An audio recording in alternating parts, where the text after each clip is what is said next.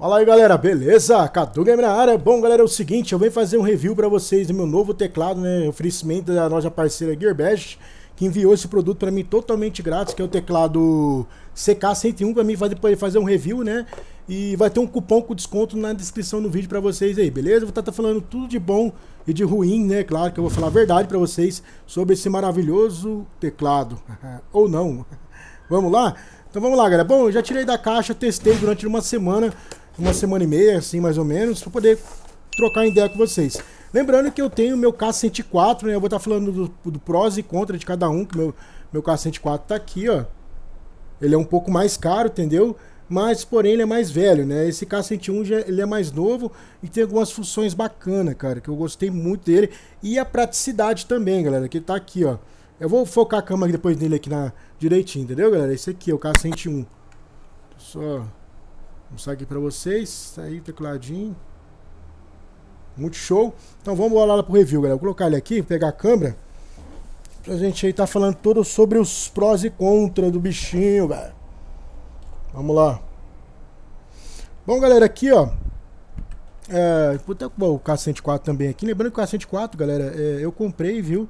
Já faz uns quase dois anos que eu tenho ele, então conheço muito bem ele. Esse aqui também já, já deu para mim fazer uma breve comparação entre um e outro, custo-benefício, entre outras coisas que eu achei muito bacana.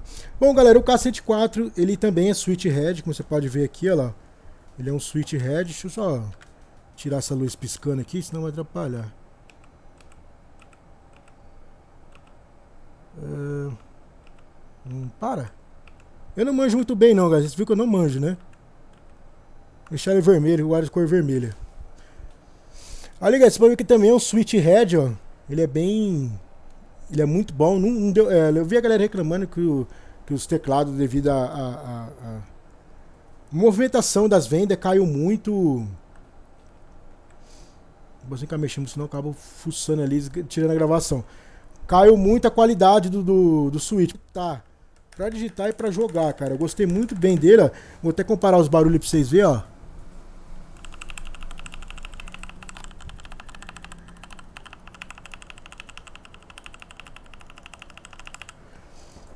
E do K101.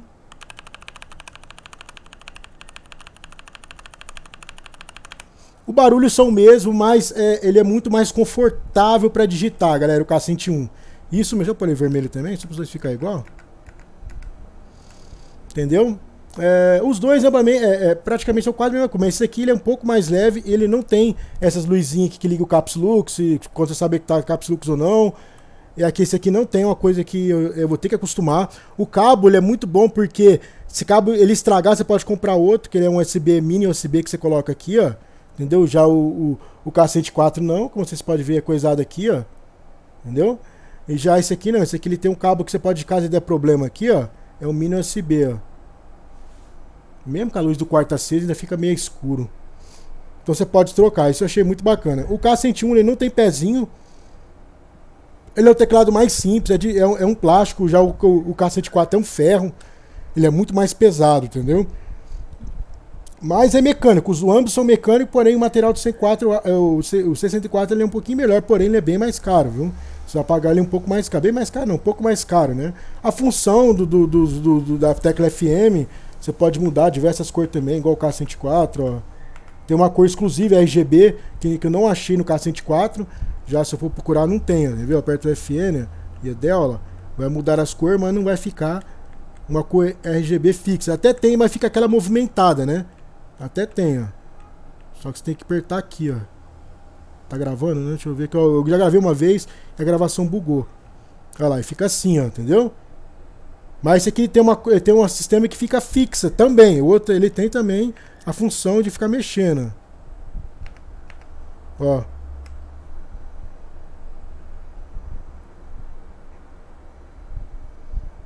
mudar aqui.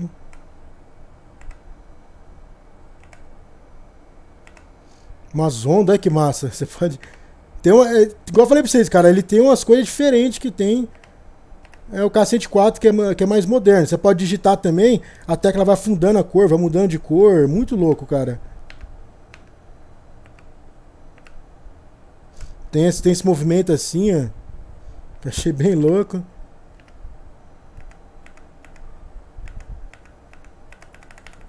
Vai? Deixa eu pegar uma cor fixa aqui. Aí que massa, galera. Quando você digita, a tecla dá uma fundada na letra. Agora não tá, não sei porquê. Eu mexi nele aqui não consigo colocar daquele jeito que tava. Agora consegui, ó. Quando você digita a tecla... Ah, não, não consegui ainda. Pera aí, eu ver se eu consigo, galera. Pera aí que eu vou conseguir.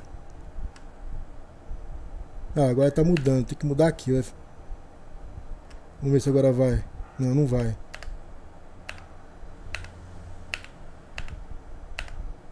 Eu acho que é essa daqui, ó. Ah, aqui, ó.